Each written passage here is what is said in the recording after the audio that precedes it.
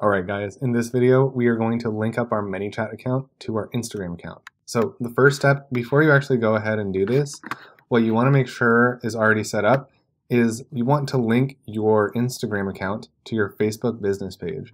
So whichever Facebook business page you see right up here in the left hand corner that you're using ManyChat with, you want to make sure that your Instagram account is also linked up to the same exact business page. So what you're going to need to do is if that's not the case already, you need to open up your Instagram app and you can just Google how to link your Instagram account to Facebook business page. It takes about 30 seconds. So make sure that that's set up before you move on to this step. And once you do that, all we need to do to link our ManyChat and our Instagram account is go down here to settings.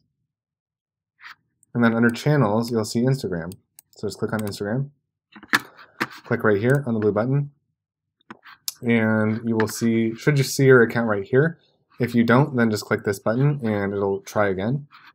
So this is the Instagram account that I'm going to link. So I'm going to click connect. And it's going to load for a little bit.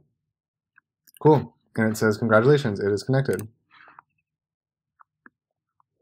Cool, so that's it. And now our IG account is officially connected to our ManyChat. Now it's going to link you on to sort of an onboarding page with some next steps. But that's it for this video. We'll get into more training in the next video.